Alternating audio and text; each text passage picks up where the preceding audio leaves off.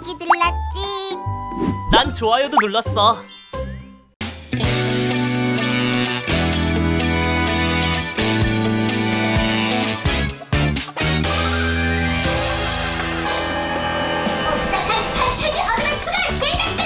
신비 아파트가 100년이 된 순간에 태어난 도깨비 102살의 도깨비 신비 역할을 하고 있습니다. 신비님이 시다. 하리 둘이와 함께 과거로 돌아가서 또 다른 도깨비를 만난다고 합니다. 쟤는 금비락한다. 새로운 모험이 펼쳐지는 오싹한 어드벤처입니다. 너무 기대가 돼요. 당연히 친구지. 고아리 역을 맡고 있는 성우 김영은입니다. 호기심도 많고 귀신들의 이야기를 잘 들어줘서 칭찬도 시켜주는 정의감이 넘치는 친구예요. 22년 전에 하리와 동갑인 엄마를 돼요. 엄마를 만나서 어떤 모험을 하게 될지 궁금하지 않으신가요?